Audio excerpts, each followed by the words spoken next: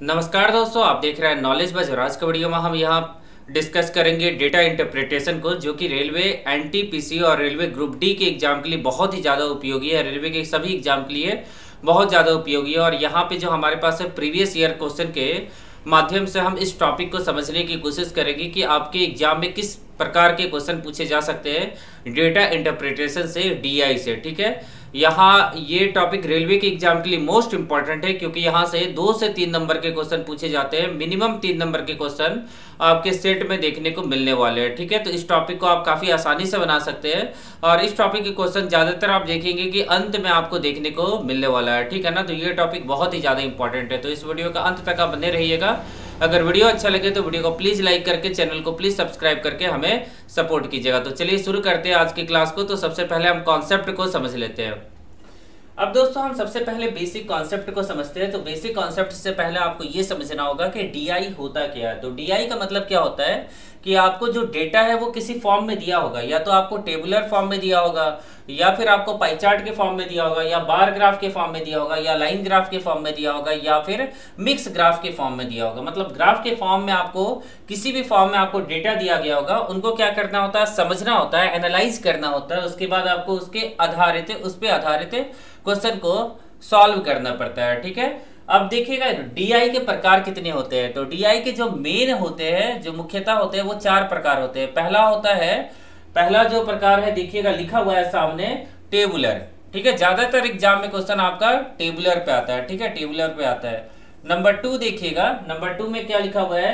Number two में देखिएगा bar graph लिखा हुआ है। तो बार ग्राफ ठीक है? नंबर टू में बार ग्राफ आ जाएगा। उसके बाद नंबर थ्री में देखिएगा, नंबर थ्री में लिखा हुआ है पाई चार्ट ठीक है? ये भी एक प्रकार होता है पाई चार्ट हो गया। और नंबर फोर में देखिएगा लाइन ग्राफ ठीक है? सभी का अभी मैं फिगर से बताऊँगा कि कैसे होते हैं लाइन ग्राफ ठीक है? और नंबर पाँच में क्या होता है मिक्स ग्राफ होता है, ठीक है? अब इन सभी को हम समझते हैं कि सब अलग अलग क्या चीज़ है, ठीक है? अब सबसे पहले हम अगर टेबुलर के बारे में बात करें तो टेबुलर में डेटा इस तरह से आपको दिया होगा। डेटा मान लीजिए इस फॉर्म में दिया होगा मान लीजिए कि यहाँ दिन का नाम लिखा है मंडे लिखा हुआ है, यहाँ ट्यूसडे लिखा हुआ है, यहाँ मान लीजिए कि वेडनेसडे लिखा हुआ है। और यहाँ क्या होता है कि मोबाइल मान लीजिए कि नोकिया मोबाइल है नोकिया मोबाइल है, यहाँ पे सैमसंग मोबाइल है, यहाँ पे मान लीजिए कि अभी रेडमी मोबाइल है, और ये पचास पीस बिकते हैं यहाँ पे यहाँ पे साठ पीस बिकते हैं। तो ये क्या होगा डेटा आपका टेबुलर फॉर्म में दिया होगा। तो इसी को हम कहते हैं टेबुलर डीआई ठीक है? तो ये आप लोग को नहीं दिख रहा होगा। ठीक है, यहाँ क्वेश्चन ने जगह ले लिया है तो यहाँ टेबुलर आप लोग को समझ में आ गया होगा, आगे भी हम क्वेश्चन भी देखेंगे, ठीक है? तो इस चीज़ को मैं पहले हटा देता हूँ, ठीक है? टेबुलर मैंने बता दिया, लगभग समझ में आया होगा। यहाँ पे मैं बताता हूँ, यहाँ पे जगह है बार ग्राफ क्या होता है? बार ग्राफ कुछ इस तरह से आपको दिखेगा, ऐसे दिखेगा, ठीक है? ऐसे दिखेगा। ये होता है बार ग्राफ होता है, ठीक है? ये आप लोग देखे होंगे, बीस पचास सौ वैल्यू दिया होगा, यहाँ पे हो सकता है कि पचास लिखा होगा, यहाँ पे सौ लिखा होगा, ऐसे करके वैल्यू होता है हर एक बार का। ठीक है इसको कहते हैं हम लोग बार और इस पे जो आधारित डेटा होते हैं उसको कहते हैं बार ग्राफ कहते हैं ठीक है? तो ये भी आप लोग को समझ में आ गया होगा कि बार ग्राफ होता क्या है। उसके बाद अगर हम बात करें पाई चार्ट के बारे में तो पाई चार्ट कुछ इस तरह से आपका बनेगा और यहाँ पे क्या हो जाएगा पाई चार्ट में? ठीक है इस चीज़ को हम लोग बोलते हैं सेक्टर तो ये एंग जो थीटा है ना एंगल ऑफ़ सेक्टर हो जाएगा ठीक है? ये जो पार्ट है ये सेक्टर कहलाएगा ठीक है? ये जो पार्ट है ये ए, ये क्या कहलाएगा? ये चाप कहलाएगा। ये ये वाला जो है ना, ये वाला पार्ट को चाप कहा जाएगा, ठीक है? तो पूरा सेक्टर का एंगल कितना होता है? 360 होता है। क्योंकि एक सर्कल हो जाएगा तो 360 हो जाएगा।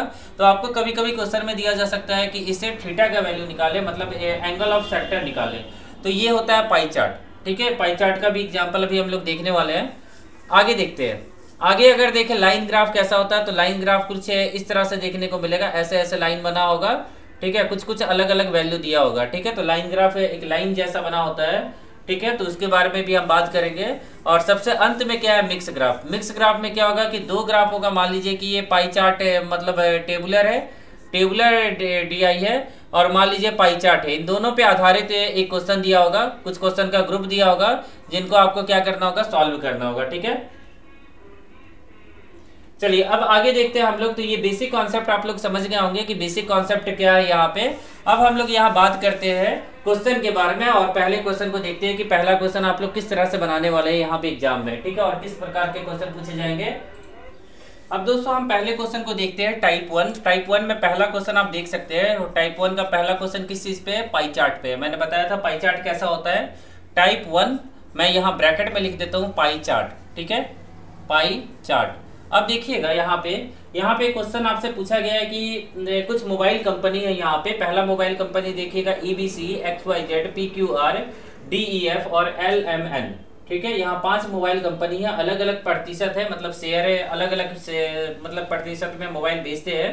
ठीक है, यदि कंपनी द्वारा निर्मित किए गए मोबाइल फोनों की कुल संख्या बारह लाख चालीस हज़ार है तो एक्स वाई जेड द्वारा कितने मोबाइल फ़ोन निर्मित किए जाएँगे, ठीक है? तो यहाँ पे टोटल जो मोबाइल फ़ोन निर्मित होते हैं बारह लाख चालीस हज़ार। तो इसको लिख लीजिए बारह लाख चालीस हज़ार, ठीक है? बारह लाख चालीस हज़ार लिखा हमने। अब एक्स वाई जेड का देखा है, पूछा गया है। तो एक्स वाई जेड का कितना प्रतिशत है? तो बारह प्रतिशत है। तो एक्स वाई जेड का कितना प्रतिशत है? बारह प्रतिशत है। तो सबसे पहले दो ज़ीरो से दो ज़ीरो काटे। अब यहाँ पे आपको पेन भी नहीं उठाना पड़ता, ऐसे ही आप बना सकते थे, ठीक है? क्योंकि बारह गुना में बारह कितना होता है? एक के आसपास होता है, ठीक है? एक के आसपास होता है। तो आपको देखना है कि एक सौ चौवालीस के आसपास कौन सा आंसर है? आपका 144 के आठ आसपास, यहाँ भी आप मल्टीप्लाई कीजिएगा तो चार दुना आठ, इकाई अंक को इकाई अंक से तो ये देखिएगा कि आठ एक ही जगह, आठ दो जगह हालाँकि, पर अट्ठाईस हज़ार आठ सौ तो होगा नहीं। यहाँ पे क्या हो जाएगा? एक चौदह लाख चौदह लाख है, नहीं, कितना है? एक लाख अड़तालीस हज़ार आठ सौ। एक लाख अड़तालीस हज़ार होगा ना, एक लाख अड़तालीस हज़ार आठ सौ। ये आंसर आएगा, ठीक है? मल्टीप्लाई आप चाहे तो मन में कर सकते हैं, यहाँ पे काफ़ी आसानी से कर सकते हैं। तो देख सकते हैं कितने आसानी से हमने इस क्वेश्चन को बना लिया। केवल आपको मल्टीप्लीकेशन करना है, वो भी आप मन में कर सकते हैं, ठीक है? क्वेश्चन को आपको समझ में आना चाहिए कि क्वेश्चन में क्या बोलना चाहता है, ठीक है? अगले क्वेश्चन की तरफ़ हम लोग चलते हैं क्वेश्चन नंबर टू को देखते हैं। और क्वेश्चन नंबर टू में क्या पूछा गया? ध्यान से देखेगा यहाँ पे, ठीक है? Type one question number two अब क्वेश्चन नंबर टू में आपसे पूछा गया यहाँ पे कि निम्न में, निम्न पाई चार्ट आरेख company X Y Z sports किटों की बिक्री पर जानकारी दर्शाता है। वर्ष 2016 के दौरान प्राप्त राजस्व कितना है? छत्तीस लाख बिरासी हज़ार डॉलर था। तो आपसे पूछा गया कि 2016 में cricket kit X Y Z के द्वारा कितना राजस्व प्राप्त किया गया? तो सेम पहले क्वेश्चन जैसा है, केवल आपको कितना लिखना है? छत्तीस लाख बिरासी हज़ार। तो यहाँ पे छत्तीस लाख है, बिरासी हज़ार। अब चाहे तो दो ज़ीरो, जो बिरासी हज़ार का दो ज़ीरो है, वो पहले से काट सकते हैं, क्योंकि क्रिकेट किट कितना है? तीस प्रतिशत। तो नीचे जो सौ होता है प्रतिशत का, वो तो कटेगा, और यहाँ तीन दूना छः होगा। अब जहाँ इकाई का अंक छः होगा, वही आपका आंसर होगा। तो इकाई का अंक छः दो जगह है, ए और बी दोनों जगह है। ठीक है? बट तीन तीन नौ होता है तो जो आंसर आएगा, नौ से ज़्यादा आएगा। तो पहला ऑप्शन देखिएगा, ग्यारह लाख है। ग्यारह लाख है, चार हज़ार छह सौ।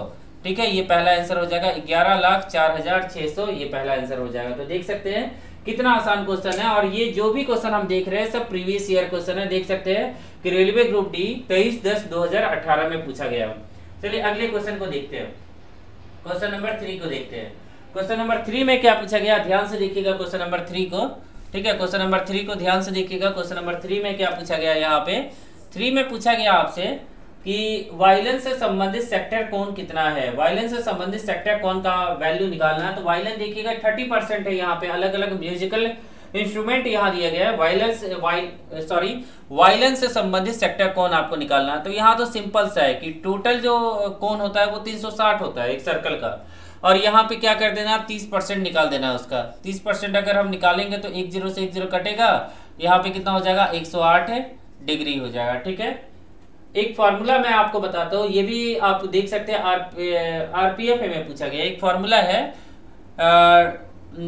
एक्स से मान लीजिए कोई वैल्यू निकालना है थीटा निकालना है थीटा निकालना है। तो वैल्यू ऑफ़ कंपोनेंट अपॉन में टोटल वैल्यू इनटू में तीन सौ साठ। ये आप याद रखिएगा, ठीक है? ये कहाँ काम आएगा, उसको भी मैं बताऊँगा आपको। मान लीजिए कि एक पाई चार्ट है, ठीक है? यहाँ पे कुछ एंगल दिया हुआ है कंपोनेंट का वैल्यू 600 है। तो यही हो जाएगा ऊपर। मतलब 600 ऊपर हो जाएगा और इस पूरे पाई चार्ट का कुछ वैल्यू दिया होगा तो मान लीजिए कि वो 4000 दिया हुआ तो 4000 नीचे और गुना में 360 करेंगे तो हम लोग का क्या निकल जाएगा? ठेठा निकल जाएगा, ठीक है? तो यही चीज़ मैं बताना चाहता हूँ। तो ये फॉर्मूला आप याद रखिएगा, काम आ सकता है आपके एग्ज़ाम में, क्योंकि एनटीपीसी या रेलवे के एग्ज़ाम में इस तरह के क्वेश्चन पूछे जाते हैं, इन पे आधारित। चलिए आगे देखेंगे अगले क्वेश्चन को। क्वेश्चन नंबर हम लोग देखेंगे यहाँ पे। क्वेश्चन नंबर तीन के बाद क्वेश्चन नंबर चार को देखेंगे। क्वेश्चन नंबर चार में क्या पूछा गया? ध्यान से देखिएगा। क्वेश्चन नंबर चार में आपसे पूछा गया, यहाँ पे देखिएगा क्वेश्चन नंबर चार में, एक विद्यालय में 1200 छात्रों से उनके आगमन के वाहनों के बारे में पूछा गया तथा तो प्राप्त सूचनाओं को निम्न पाई चार्ट के द्वारा दर्शाया गया। तो दी गई सूचनाओं के आधार पर ज्ञात करें कि कितने छात्र कार द्वारा विद्यालय जाते हैं? तो ये आपको बताना है कितने छात्र कार द्वारा विद्यालय जाते हैं। और यहाँ पे जो पाई चार्ट में वैल्यू देखिएगा, वो डिग्री में दिया हुआ है। और यहाँ टोटल छात्र छात्र कितने हैं? तो जो मैंने अभी फॉर्मूला बताया था, वो आपका काम आ जाएगा। थीटा इज़ इक्वल टू में वैल्यू ऑफ़ कंपोनेंट अपॉन में टोटल वैल्यू इनटू में 360 ठीक है, ये दिया हुआ है। अब थीटा का मान देखिए तो कार वाला कितना है? 150 डिग्री। तो 150 वहाँ पुट कर दीजिए। वैल्यू ऑफ़ कंपोनेंट आपको पता नहीं है बट टोटल मान कितना है? 1200 छात्र है यहाँ पे। तो 1200 मैंने लिख दिया और गुना में कितना कर दिया? 360 कर दिया। अब यहाँ एक ज़ीरो से एक ज़ीरो कट गया। बारह का बारह बारह सौ बार में कट गया। बारह तिया कट जाएगा, ये पाँच बार में कट जाएगा। मतलब एक्स इज़ में कितना हो गया? पाँच सौ। मतलब कार से जो विद्यार्थी आते हैं ना कार से जो विद्यार्थी आते हैं ना, वो कितने हो जाएँगे? 500 हो जाएँगे। तो देख सकते हैं कितना आसान क्वेश्चन है और कितने आसानी से हम लोग सॉल्व कर रहे हैं सभी क्वेश्चन को। क्वेश्चन नंबर चार हमने बना लिया। अब आगे क्वेश्चन देखिएगा क्वेश्चन नंबर पाँच। अभी भी टाइप वन ही में चल रहा है, ठीक है? टाइप वन में देख रहे हैं और सभी के सभी क्या है? प्रीवियस ईयर क्वेश्चन है। ये एनटीपीसी 2016 शिफ्ट टू में पूछा गया था। क्वेश्चन नंबर पाँच को ध्यान से देखिएगा।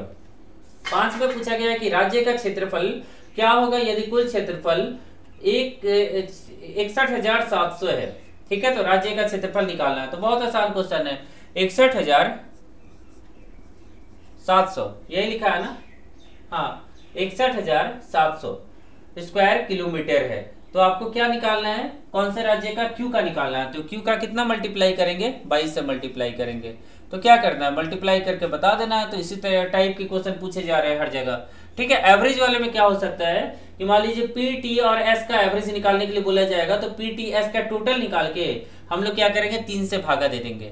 बट यहाँ गुना कीजिए तो यहाँ गुना कीजिएगा, आपका आंसर आ जाएगा। तो अंतिम में फोर आना चाहिए। और फोर किसके पास है? सी और डी दोनों के पास फोर है और बी के पास भी फोर है। क्योंकि सात दुनी चौदह होता है, ठीक है? अगर हमको इससे गुना करना होगा तो तेरह चौदह के आसपास आएगा। तो देखिए थर्टीन और फोर्टीन के आसपास कोई वैल्यू है ना तो ऑप्शन नंबर सी मुझे लगता है कि बिना मल्टीप्लाई किए हुए ऑप्शन नंबर सी होगा तो मैं क्या करूँगा? ऑप्शन नंबर सी लगा दूँगा मल्टीप्लाई करके यही आएगा। तेरह हज़ार तेरह हज़ार पाँच सौ चौहत्तर आ जाएगा, ठीक है? तेरह हज़ार पाँच सौ चौहत्तर स्क्वायर किलोमीटर तो देख सकते हैं कितना आसान क्वेश्चन है और कितने आसानी से हम लोग ने सभी क्वेश्चन को सॉल्व किया। चलिए आगे देखिएगा अगले क्वेश्चन को। अगले क्वेश्चन को देखिएगा कि निम्न तालिका में तीन वर्षों में CO2 का उत्सर्जन मिलियन मैट्रिक टन में दिया गया है। तो 2016 से 2017 के बीच में CO2 के उत्सर्जन में कितने प्रतिशत की वृद्धि होगी, ये आपसे पूछा गया है कि कार्बन डाइऑक्साइड के में कितने प्रतिशत की वृद्धि होगी। तो यहाँ ध्यान से देखिएगा, इस क्वेश्चन को कैसे बनाएँगे, क्योंकि यहाँ टाइप चेंज हो रहा है। अभी तक जो टाइप हम देख रहे थे, वो देख रहे थे हम लोग पाई चार्ट अब हमारे पास जो अगला टाइप है, वो टेबुलर डीआई है, ठीक है? अगला टाइप कैसा है? टेबुलर डीआई तो यहाँ पे हो जाएगा type two tabular tabular DI ठीक है, अभी पाई चार्ट देख रहे थे, अब टेबुलर डीआई है। तो देखिएगा, ये क्वेश्चन 2015 में CO2 का उत्सर्जन दिया हुआ है, घरों में उत्सर्जन कितना हुआ, ठीक है? ये मिलियन मैट्रिक टन में दिया हुआ है, ठीक है? तो इस क्वेश्चन को हम बनाएँगे कैसे? यहाँ पे। 2016 से 2017 के बीच में CO2 के उत्सर्जन में कितने प्रतिशत की वृद्धि हुई है? अब देखिए 16 में कितना है? 16 में दिया हुआ है 110 2016 में कितना दिया हुआ है? 110 2017 में कितना दिया हुआ है? 150 ठीक है, इतना समझ में आ गया आप लोग को। अब हम लोग देखेंगे डिफरेंस कितना आ गया? 40 का आ गया। कब से निकालना है? 2016 को बेस मान के निकालेंगे, ठीक है? प्रतिशत तो इसी तरह निकाला जाता है, कोई ना कोई ईयर बेस होगा, जहाँ से इंक्रीज या डिक्रीज हुआ होगा, उसको हम बेस मानेंगे। तो बेस अमाउंट हम लोग का 2016 वाला है, बस इसका 40 परसेंट निकाल लीजिए आपका आंसर आ जाएगा 400 बटे में 11 अब 400 बटे में 11 को सॉल्व कीजिए तो 36 पॉइंट में तीन छह प्रतिशत आ जाएगा, ठीक है? तो देख सकते हैं कितना आसान क्वेश्चन है और कितने आसानी से हम लोग सभी क्वेश्चन को सॉल्व कर पा रहे हैं यहाँ पे, ठीक है? अगला क्वेश्चन देखिएगा क्वेश्चन नंबर टू देखिएगा, ठीक है? क्वेश्चन नंबर वन हमने देख लिया क्वेश्चन नंबर टू देखते हैं, ठीक है? क्वेश्चन नंबर टू में क्या दिया हुआ है? ध्यान से देखिएगा। क्वेश्चन नंबर टू देखिए, लिखा गया है यहाँ पे, एक वर्ष का कुल, यहाँ पहले देखिएगा क्या दिया हुआ है। किसी कंपनी के विभिन्न मदों पर व्यय को यहाँ दर्शाया गया है। सभी जो खर्च होते हैं, व्यय मतलब खर्च होता है लाख रुपए में दिए हुए ठीक है? वर्ष एक दिया हुआ है, वेतन, बोनस, कर और ऋण कितना था? उसके बाद दूसरे वर्ष का, तीसरे वर्ष का। वर्ष एक का कुल खर्चे, वर्ष तीन के कुल खर्चे का कितना प्रतिशत है? और वर्ष वर्ष एक का कुल खर्च देखिएगा मतलब कितना दिया गया वर्ष एक में? तो ईयर वन में देखिएगा, ईयर वन का निकालेंगे तो मैं एक निकाल के दिखा देता हूँ, दो सौ प्लस दो सौ है ना? दो सौ प्लस में कितना है? 200 प्लस में 10 से कितना दिया हुआ है? 10 दिया हुआ है ना? 200 प्लस में 10 है। ठीक है, प्लस में 70 और प्लस में कितना है? 20 इसको ऐड कीजिएगा तो 300 आ जाएगा। ठीक है, ऐड करके देख लीजिएगा। और इसी तरह तीसरे वर्ष का सबको जोड़ के निकालिएगा तो ये आ जाएगा 600 आ जाएगा। ठीक है? तो ये क्लियर आपको दिख रहा है कि 50 परसेंट हो रहा है ना? क्योंकि पूछा गया कि वर्ष एक का कुल खर्च वर्ष तीन के कुल खर्च का कितना प्रतिशत है? तो वर्ष एक को ऊपर रखेंगे मतलब 300 को ऊपर और 600 का नीचे और गुना में 100 कर देंगे तो ये आ जाएगा 50 प्रतिशत आ जाएगा। ठीक है, देख सकते हैं कितना आसान क्वेश्चन है और कितने आसानी से हमने इन सभी क्वेश्चन को सॉल्व किया। चलिए आगे देखेंगे क्वेश्चन नंबर दो के बाद क्वेश्चन नंबर तीन को देखेंगे अब दोस्तों हम लोग क्वेश्चन नंबर आठ देखते हैं टाइप एट का क्वेश्चन नंबर आठ देखते हैं। तो क्वेश्चन नंबर आठ को ध्यान से समझिएगा, बहुत ही अच्छा क्वेश्चन है। निम्न सारणी में पाँच राज्य M N O P Q में गरीबी रेखा तथा लिंग के आधार पर जनसंख्या का प्रतिशत वितरण दर्शाता है। अब देखिएगा M N O P Q में गरीबी रेखा से नीचे का प्रतिशत दिया हुआ है, जो लोग गरीबी रेखा से नीचे है और वहाँ देखिएगा पुरुष और महिलाओं का अनुपात दिया है। एक तो गरीबी रेखा से नीचे का, एक गरीबी रेखा से ऊपर का। अब नीचे क्वेश्चन क्या लिखा हुआ है? यदि राज्य ओ की गरीबी रेखा से ऊपर, ध्यान दीजिएगा, राज्य ओ की गरीबी रेखा से ऊपर जो मेल की संख्या है वो 1.7 1.7 मिलियन है। तो राज्य ओ में कुल जनसंख्या आपको निकालना है, ठीक है? राज्य ओ में क्या करना है? कुल जनसंख्या निकाल लीजिए अब मान लीजिए कि टोटल जनसंख्या कितना है? टोटल जनसंख्या मान लीजिए कि एक्स है। ठीक है, टोटल जनसंख्या मान लीजिए कि एक्स है और रेशियो कितना दिया है मेल फीमेल का? ये किसका दिया हुआ है? अपर का दिया है मतलब गरीबी रेखा से ऊपर वाले दिया हुआ है। ठीक है अपर क्लास का मान लीजिए चार अनुपात में तीन। मेल चार है तो फीमेल तीन है। तो यहाँ पे कितना हो जाएगा? टोटल का अगर निकालेंगे तो तीन बटे में यहाँ पे अगर हम लोग डायरेक्ट फीमेल का ही संख्या निकाल लेते हैं फीमेल का ही संख्या निकाल लेंगे तो कितना हो जाएगा? वन पॉइंट सात गुना में तीन बटे में चार। ठीक है, ये हो जाएगा वन पॉइंट सात गुना में तीन बटे में चार। ये क्या निकल जाएगा? नंबर ऑफ़ फीमेल, जो कि गरीबी रेखा से ऊपर है। तो इसको सॉल्व अगर कीजिएगा तो फाइव पॉइंट वन निकल जाएगा, five point one by four निकल जाएगा। ठीक है, five point one by four निकल जाएगा। और इसको सॉल्व कीजिएगा तो one point two seven five निकल जाएगा। ठीक है, one point two seven five क्या निकल जाएगा? मिलियन निकल जाएगा। ठीक है, ये फीमेल का संख्या हो गया। अगर अब हम लोग टोटल संख्या निकालना चाहे टोटल मेल प्लस फीमेल तो हम लोग को क्या करना होगा? इस वाले संख्या को और इस वाले संख्या को ऐड करना होगा। मतलब 1.7 प्लस में 1.275 को ऐड करना होगा, ठीक है? और इसको ऐड करेंगे तो कितना आ जाएगा? 2.975 आ जाएगा, ठीक है? कितना आ जाएगा? 2.975 यही आपका क्या हो जाएगा? आंसर हो जाएगा। तो कोई दिक्कत आप लोग को नहीं होगा, अच्छे से आप लोग को समझ में आ गया होगा क्वेश्चन नंबर आठ। अब देखिएगा अगला क्वेश्चन। क्वेश्चन नंबर आठ के बाद क्वेश्चन नंबर नौ देखिएगा।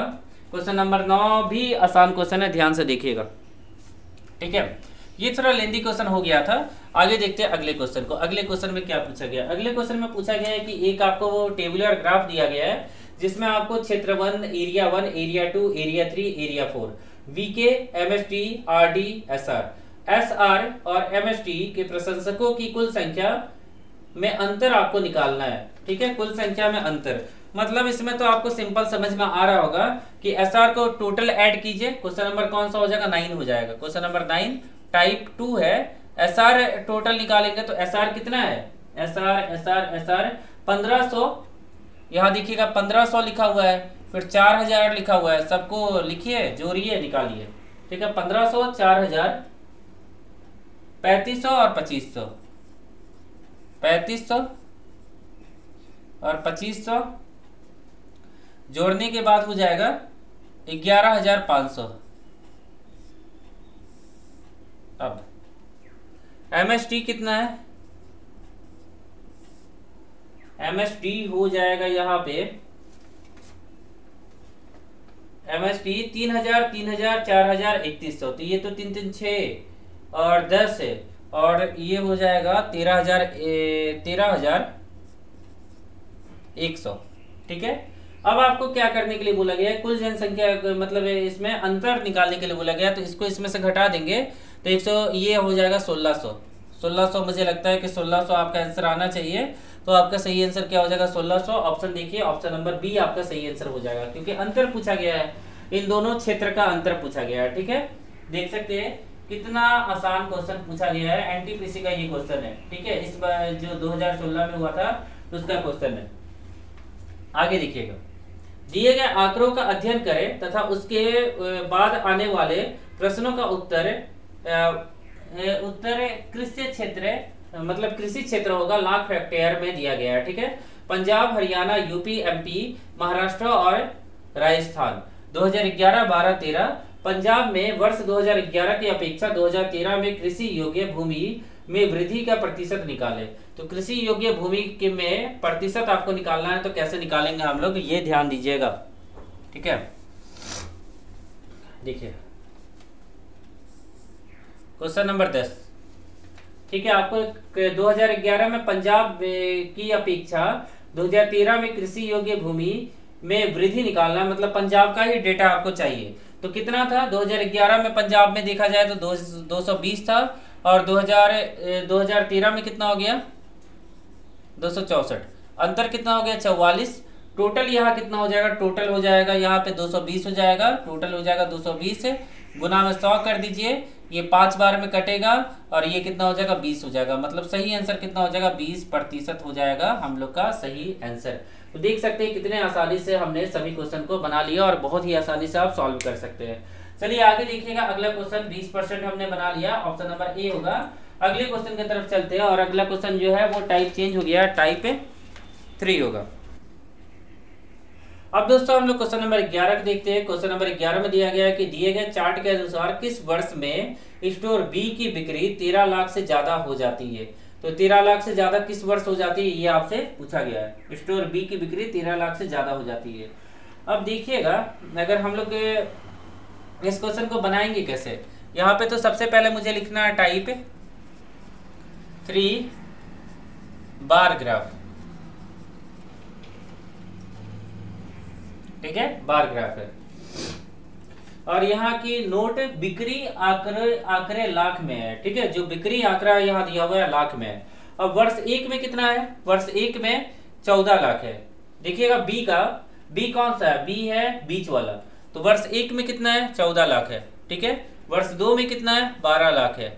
वर्ष तीन में कितना है? आठ लाख है। तो देख सकते हैं, ये क्वेश्चन में पेन कहाँ उठाना पड़ा आपको? तेरह लाख से ज़्यादा पूछा गया तो वर्ष एक होगा आंसर तो ऑप्शन नंबर सी आपका सही आंसर हो जाएगा। तो देख सकते हैं, कितना आसान क्वेश्चन है, कितना इजी क्वेश्चन है। ऐसा भी क्वेश्चन एग्ज़ाम में पूछा जा सकता है, और ये अभी का क्वेश्चन है, तेईस से तेईस सितंबर 2018 का। तो देख सकते कितना आसान क्वेश्चन है, कितने जल्दी यहाँ पे बना सकते हैं इन सभी क्वेश्चन को। चलिए, अगले क्वेश्चन को देखते हैं। ये भी पाई चार्ट है, और ध्यान से समझिएगा। दिया गया कि एक निजी जिम एक समय स्टॉल, क्या लिखा है? स्लॉट स्लॉट में 25 लोग को समायोजित कर सकता है उसके उपयोगकर्ताओं के लिए तीन अलग अलग समय स्टॉल है। और निम्न चार्ट एक सप्ताह से एक सप्ताह के औसत अगंतु को दर्शा दर्शा रहा है। वह कौन सा दिन दिन है जब वे अधिक वे अधिक सदस्यों को समायोजित नहीं कर सकते? ठीक है तो ये क्वेश्चन आपसे पूछा गया है। तो इस क्वेश्चन को हम बनाएँगे कैसे? ध्यान से समझिएगा। ठीक है ना? तो यहाँ देखिएगा। यहाँ ये क्वेश्चन नंबर बारह होगा। अभी हमने क्वेश्चन नंबर ग्यारह बनाया। अब हम लोग क्वेश्चन नंबर बारह को बनाने वाले हैं। ठीक है? क्वेश्चन को एक बार फिर से हम देखते हैं। यहाँ पे कुछ दिन दिए हुए हैं और स्लॉट दिए हुए हैं। पच्चीस लाख लोगों को समायोजित किया जा सकता है। तो पूछा गया आपसे क्या? आ, क्या पूछा गया? देखिएगा। और निम्न चार्ट एक सप्ताह के औसत औसत आगंतुकों को दर्शा रहा है। वह कौन सा दिन होगा जब वे अधिक सदस्यों को समायोजित नहीं कर पाएँगे? कौन सा दिन ऐसा होगा जब वो अधिक सदस्यों 25 लाख से ज़्यादा 25 लाख का जो कैपेसिटी जिस दिन पूरा हो जाएगा, वही दिन होगा ना?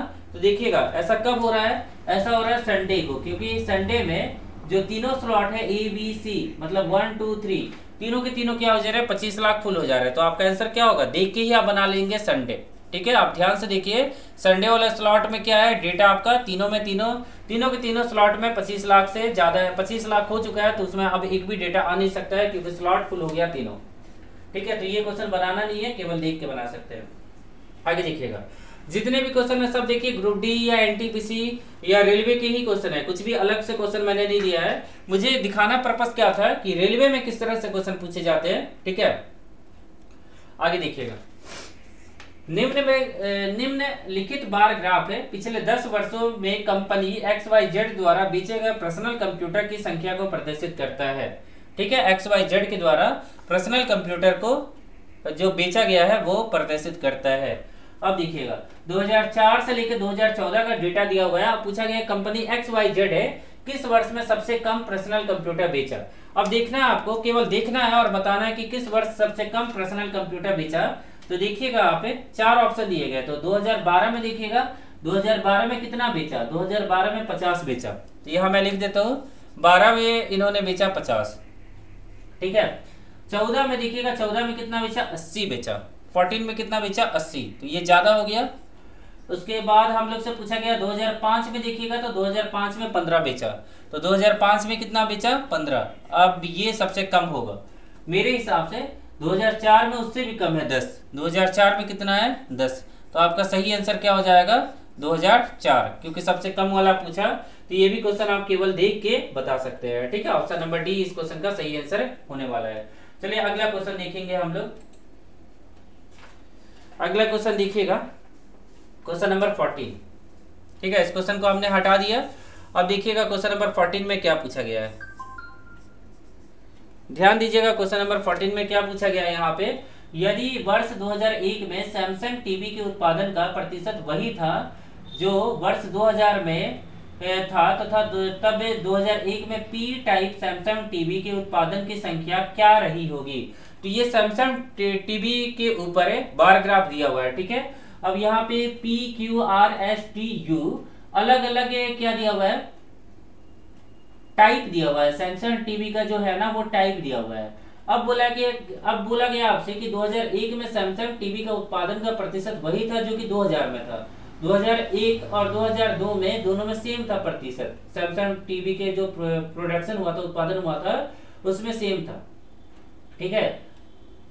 तब तब 2001 में टाइप पे टाइप सैमसंग टीवी के उत्पादन की संख्या क्या रही होगी? तो 2001 में P type Samsung TV TV के उत्पादन की संख्या आपको निकालने के लिए यहाँ दिया गया है। तब कैसे निकालेंगे? तो ये तो प्रतिशत दिया हुआ है। तो प्रतिशत देखेंगे पी का तो 30 परसेंट आ जाएगा। ठीक है? और हम लोग के पास यहाँ टोटल डेटा दिया हुआ है टोटल डेटा टोटल डेटा दिया हुआ नीचे, देखिएगा। Total number of TV produce ठीक है, कितना है? चार लाख चौवालीस हज़ार है। कितना है?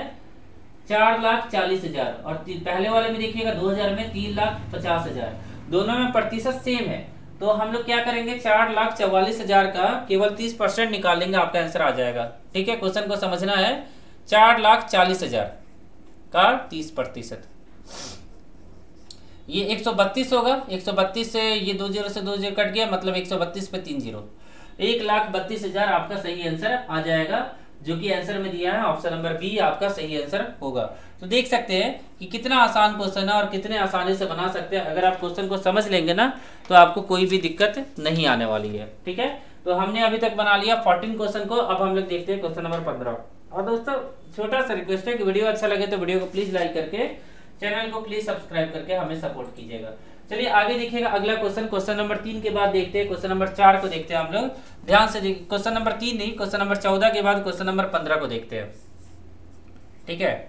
देखिएगा क्या पूछा गया है कि निम्न बार बार चार्ट का पे आधारित प्रश्नों का उत्तर दीजिए। निम्न बार चार्ट दुनिया भर में भारत की, में म्यूचुअल फंड के निवेश के रुझान को दर्शाता है, ठीक है? म्यूचुअल फंड के से रिलेटेड ये डेटा है, इंडिया म्यूचुअल फंड इन्वेस्टमेंट, कितना होता है वो बताया गया है, ठीक है?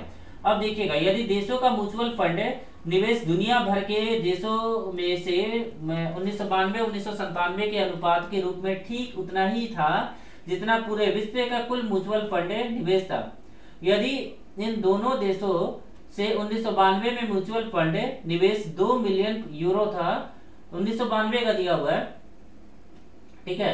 दो मिलियन इन इन दे, इन देशों ने से उन्नीस में म्यूचुअल फंड दो मिलियन यूरो था तो उन्नीस में इन देशों से म्यूचुअल फंड का निवेश की मात्रा क्या होगा? ठीक है? क्वेश्चन बहुत लंबा है और थोड़ा आपको लगता होगा कि क्या क्वेश्चन पूछ दिया गया कितना लेंदी क्वेश्चन पूछ दिया गया ठीक है?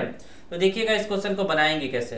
अब बानवे रेशियो निकालना होगा कब का? रेशियो निकाल सॉरी रेशियो निकालना होगा आपको 92 का रेशियो निकालना होगा 97 का, उन्नीस सौ बानवे का, उन्नीस के साथ। तो निकाल लीजिए।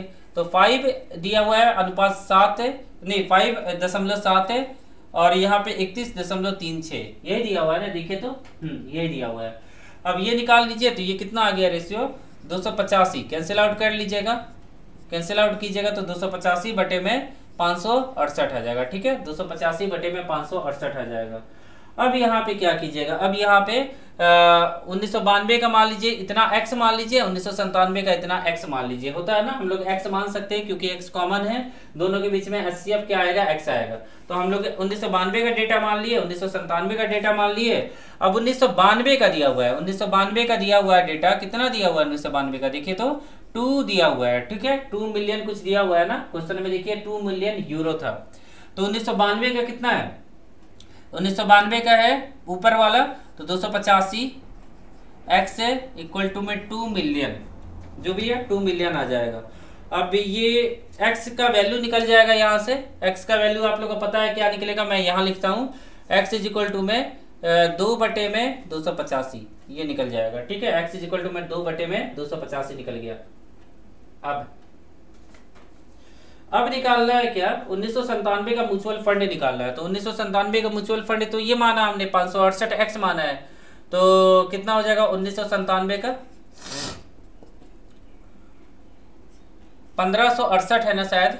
पंद्रह गुना में एक्स का वैल्यू दो बटे में दो सौ पचासी। तो यहाँ पे सॉल्व कीजिए और कितना वैल्यू आ जाएगा? ग्यारह के आसपास आ जाएगा। ग्यारह पॉइंट ज़ीरो ज़ीरो थ्री के आसपास आ जाएगा। यही आपका क्या होने वाला है? आंसर होने वाला है। तो देख सकते हैं कितना इजी क्वेश्चन है और कितने इजी तरीके से हमने इन सभी क्वेश्चन को सॉल्व किया। चलिए, आगे देखिएगा। आगे देखिएगा। अब टाइप चेंज होता है दोस्तों। अभी तक हम लोग देख रहे थे, अभी तक हम लोग देख रहे थे यहाँ पे बार ग्राफ देख रहे थे ना? अब हम लोग देखेंगे लाइन ग्राफ और ये होता है टाइप नंबर चार। ठीक है? ध्यान से देखिएगा। टाइप चार, ये होगा। टाइप चार ये हो जाएगा लाइन ग्राफ।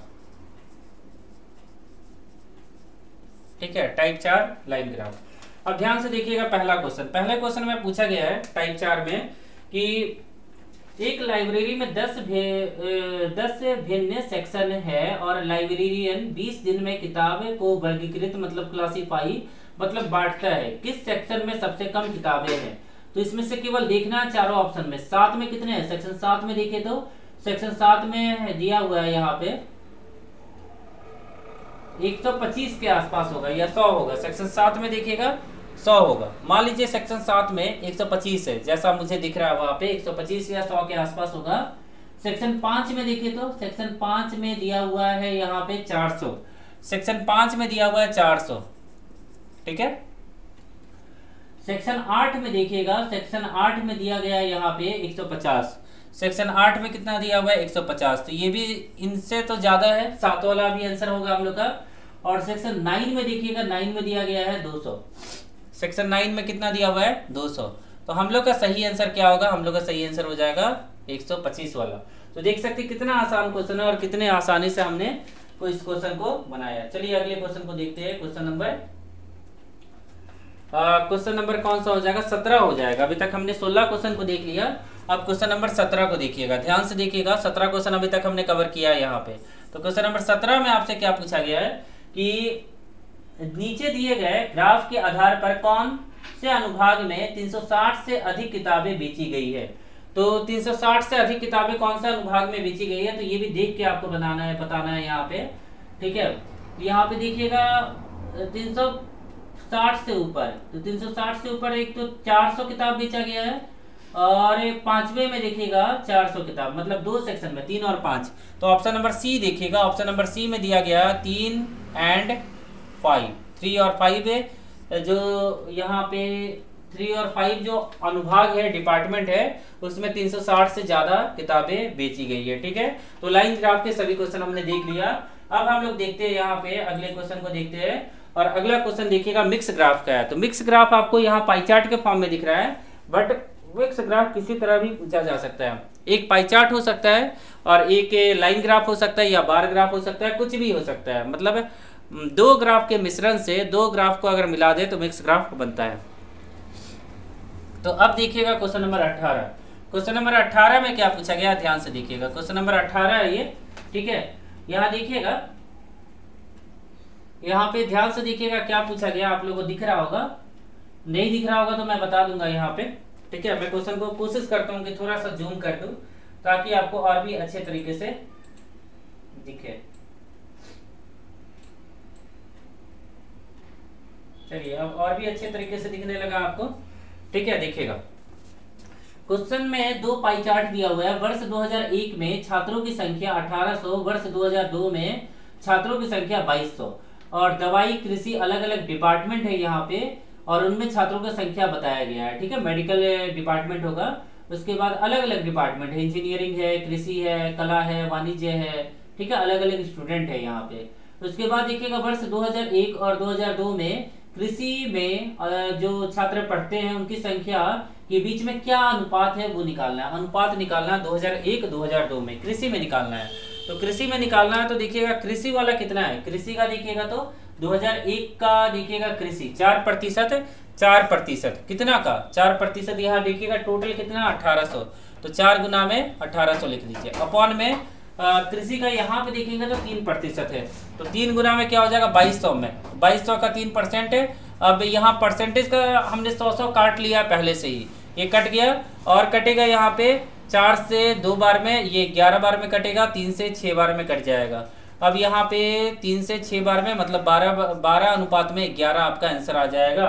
और ये आपको नहीं दिख रहा होगा तो मैं यहाँ नीचे लिखता हूँ, आपका आंसर होगा बारह अनुपात में ग्यारह। तो देख सकते हैं कितना आसान क्वेश्चन है और कितने आसानी से आप इन सभी क्वेश्चन को बना सकते हैं। अगला क्वेश्चन देखिएगा। वर्ष 2002 में वर्ष 2001 से वर्ष 2002 तक के विज्ञापन में जो छात्र विज्ञान में जो छात्र पढ़ते छात्र है, उनकी संख्या में कमी और वृद्धि का प्रतिशत क्या होगा? 2001 से दो। अब एक में विज्ञान में कितने हैं? तो वो तो निकालना पड़ेगा हम लोग को। एक में है 24 परसेंट। अठारह का 24 परसेंट। तो ये दोनों आपको निकालना होगा साइंस वाला। ठीक है, मैं आपको निकाल के दिखाता हूँ। ठीक है, क्वेश्चन नंबर 19 चाहिए। हम लोग का तो यहाँ 2001 अलग अलग बुक से दोस्तों मैंने लिया है ताकि आप लोग का बच्चे नहीं कुछ। हर टाइप का मैंने क्वेश्चन आप लोग का करवा दिया, ठीक है? अब 2001 में कितना है यहाँ पे? 2001 में निकालेंगे तो 24 परसेंट ऑफ़ 2001 का डेट पूरा जो स्टूडेंट है वो 1800 है।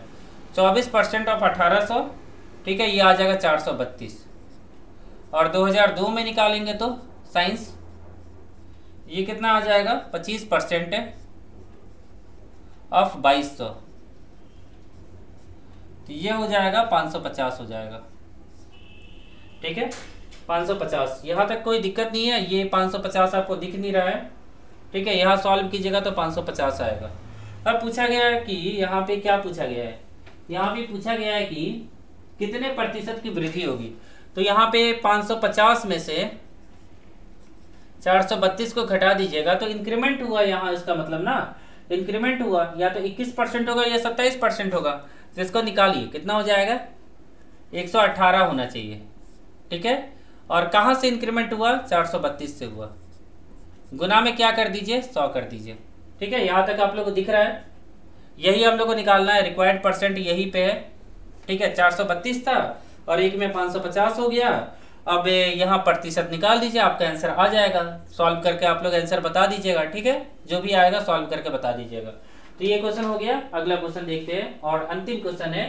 अगला क्वेश्चन क्या पूछा गया? ध्यान से देखिएगा क्वेश्चन नंबर बीस है ये।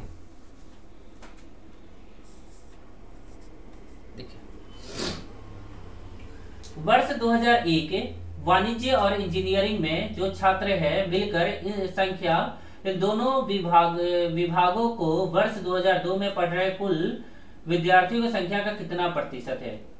ठीक है? इन दोनों विभागों में 2002 का दोनों विभाग देखना है, ठीक है? देखिए। 2001 में, पहले लिखा हुआ है कि 2001 में वाणिज्य और इंजीनियरिंग। तो 2001 में कॉमर्स और इंजीनियरिंग के छात्र को देखेंगे तो 2001 देखेंगे कॉमर्स में कितने हैं? वाणिज्य में 25 है और इंजीनियरिंग में कितने हैं? 15 है। इंजीनियरिंग में कितना है यहाँ पे? वर्ष 2001 में वाणिज्य और इंजीनियरिंग में पढ़ पढ़, पढ़ रहे विद्यार्थियों को मिलाकर। तो 2001 में देखिएगा 25 है वाणिज्य वाणिज्य बोला गया ना इंजीनियरिंग में 15 है। मतलब टोटल कितना हो जाएगा? 40 प्रतिशत। कितना का हो जाएगा? 1800 का हो जाएगा। जो होगा सो निकाल दीजिए। अठारह चौके बहत्तर मतलब 720 हो जाएगा। ठीक है? ये आपका निकल गया। आगे क्या पूछा गया यहाँ पे? आगे पूछा गया कि इन दोनों विभागों में 2002 में पढ़ रहे विद्यार्थियों की संख्या का कितना प्रतिशत है? तो 2002 में कितना है? 2002 वाला देखिए तो 30 हो गया और 14 हो गया मतलब 44 परसेंट। 2002 में 44 परसेंट ऑफ़ कितना? 2200 दो ज़ीरो से दो ज़ीरो कट गया। सॉल्व कीजिए, नौ सौ अड़सठ आ जाएगा। ठीक है? अब। यहाँ पे हम लोग, जगह तो नहीं है, यहाँ पे लिख लेता हूँ मैं। तो यहाँ पे क्या करना है? सीधा प्रतिशत निकालना है 720 अपॉन में नौ सौ अड़सठ। गुना में सौ। ये लगभग मुझे लगता है कि 80 के आसपास आएगा। तो यहाँ पे देखिएगा 80 परसेंट। बी ऑप्शन होना चाहिए, ठीक है? 80 नहीं होगा 79 के आसपास आ जाएगा। तो ये मुझे लगता है कि सी ऑप्शन होगा, ठीक है? आप निकाल के देख लीजिएगा। जो क्वेश्चन पूछा गया है, वो मैंने आप लोग को बता दिया। कैलकुलेशन आप लोग कर लीजिएगा। बहुत ज़्यादा लेंदी कैलकुलेशन आप लोग के एग्ज़ाम में नहीं पूछा जाएगा। और ये जो अभी हम देख रहे थे मिक्स ग्राफ देख रहे थे टाइप फाइव मिक्स ग्राफ देख रहे थे, ठीक है? मिक्स ग्राफ है, इस तरह से आपसे पूछा जाएगा। मान लीजिए एवरेज निकालने के लिए बोला जाएगा तो क्या कीजिएगा? मान लीजिए कि साइंस का कॉमर्स का और आर्ट्स का एवरेज निकालने के लिए क्या बोला जाएगा तो आपको क्या करना है? सबको जोड़ना है और एक तीन से भागा दे देना है, ठीक है? एवरेज आप लोग को पता है तो रेशियो पे मैंने बता दिया परसेंटेज पे बता दिया, हर हर एक टाइप का क्वेश्चन मैंने बता दिया। दोस्तों, जितने भी डीआई के क्वेश्चन थे डेटा इंटरप्रिटेशन के जितने भी क्वेश्चन और टाइप बन सकते थे, सभी को हमने इस वीडियो में कवर कर लिया। और जितने भी रेलवे ग्रुप डी के लिए और एनटीपीसी के लिए और रेलवे के जितने भी एग्ज़ाम होते हैं, उनके लिए ये कॉमन क्लास है। इसमें हम हर एक टाइप के क्वेश्चन को सॉल्व करते हैं, ठीक है ना? तो इसका जो क्लास है, अट्ठाईस क्लास मैंने पहले करा दिया था, ये उनतीसवा क्लास होने वाला है। क्लास उनतीसवा क्लास हो चुका है, ठीक है ना? तो आगे भी जितने भी मैथ्स के टॉपिक आप बचे हुए हैं, उनको हम इस महीने में खत्म कर देंगे और उसके बाद हम रीजनिंग को भी 10 तारीख से पहले खत्म कर देंगे 10 जनवरी से पहले रीजनिंग को खत्म कर देंगे 10 से 15 जनवरी के पहले। तो जो बेसिक जो है ना, वो खत्म हो जाएगा पंद्रह जनवरी से पहले। तो इसके लिए आपको क्या करना है कि हमारे चैनल को सब्सक्राइब करना है और वीडियो अगर अच्छा लगे तो वीडियो को प्लीज़ लाइक करके ज़्यादा से ज़्यादा लोगों को शेयर कीजिए ताकि सभी का कुछ फ़ायदा हो सके और प्लीज़ हमें सपोर्ट कीजिए, ठीक है ना? तो चलिए इस वीडियो को यही पे खत्म करते हैं। आशा करता हूँ कि आज के दिन आप लोग काफ़ी अच्छा रहे। अगले वीडियो में फिर से मिलते हैं। Thank you